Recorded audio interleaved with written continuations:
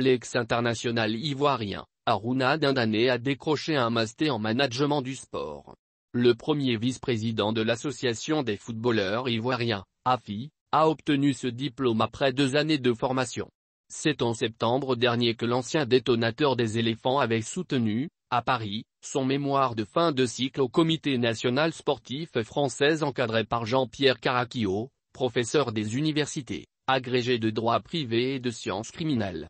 L'ex-académicien a planché avec brio sur le thème, l'organisation d'un syndicat de footballeurs, le cas de l'AFI. Muet dans un silence à la suite de sa brillante carrière de footballeur, Aruna Dindane, va ainsi aborder une autre étape de sa vie en ajoutant cette corde à son arc.